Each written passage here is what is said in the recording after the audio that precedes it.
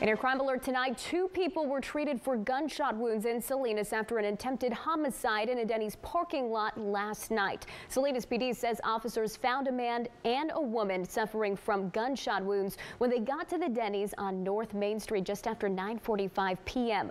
Both were taken to local hospitals and police say the man is in critical condition and the woman is stable.